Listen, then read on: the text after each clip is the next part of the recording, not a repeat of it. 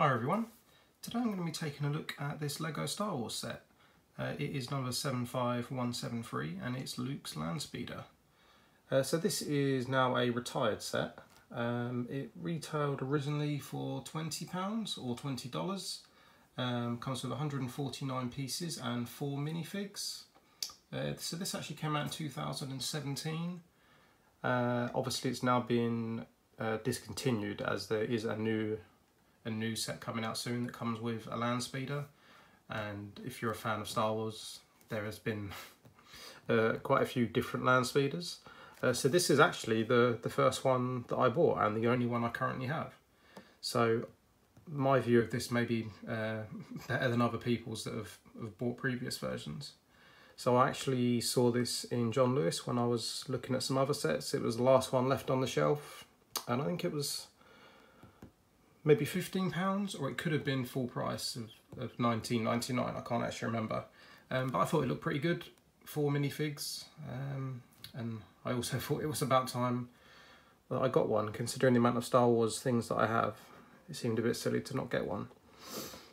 So here is the box and you can see a nice picture of the set uh, plus the four minifigs that you get uh, which I will look at separately. And a quick look on the back uh, so there isn't any like action features that come with this set, but you can remove this section for for storage, which I'll show you in a minute. And that's about it really for the box. So here is the set, including the minifigs. Um, I will remove the minifigs and just show you the land speeder itself.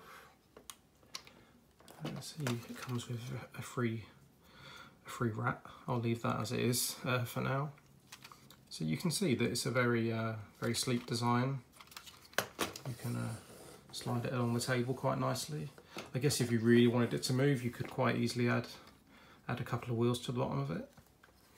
Uh, in terms of stickers, so we have this one in here. Let's try and get a better angle on that one. Uh, you have sticker here, sticker here, and a sticker here, plus a little one here. Uh, and as I was building this, I actually think I prefer, uh, preferred it without these stickers. I mean, they're, they're quite detailed stickers. They're a little bit fiddly to put on because you have to wrap them around.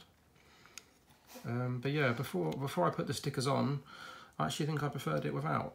So if you do get this set, set uh, maybe have a look at this video and then compare it with yours before you put the stickers on.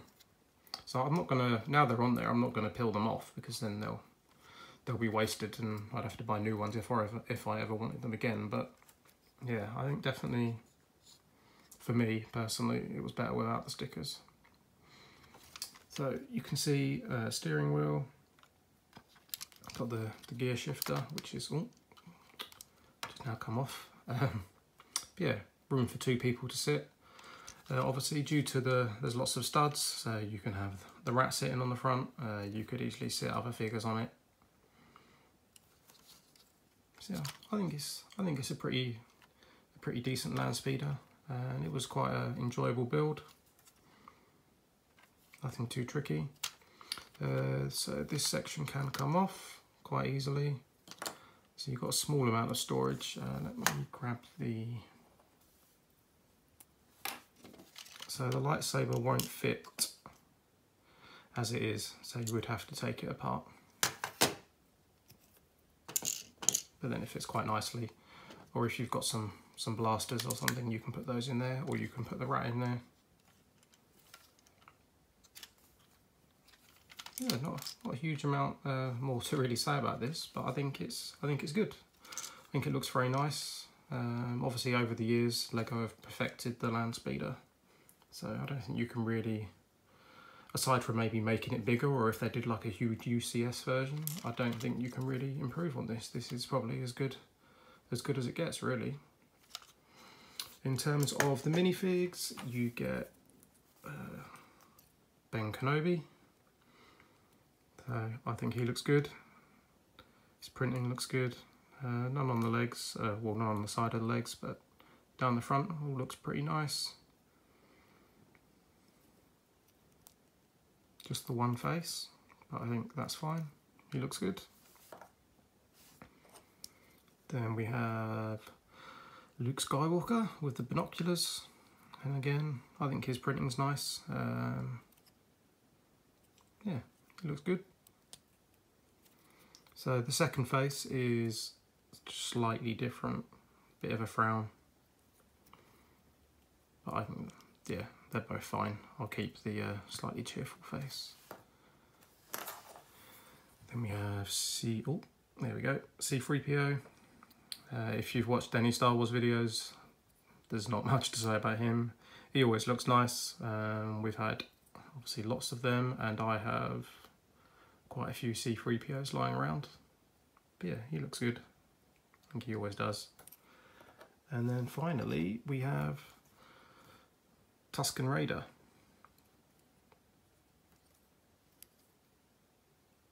Yeah, I like these. I think they look good. Um, it's always nice to some of the smaller sets and battle packs and things when you can get an extra one of these.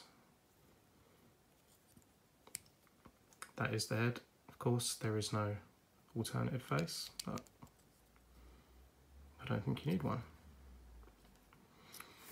So there we go. Uh, that's my my look at this set. Uh, I, I like it. Um, I think, especially if you don't have, have one already, or maybe you've only got one or a really old one, then I don't think you can really go wrong with this set. And yeah, even though it's retired, you can still find it in some shops, or you should be able to find it online for basically retail price. So yeah, there we go. Uh, let me know what you guys think, and uh, thanks for watching. I'll talk to you again soon.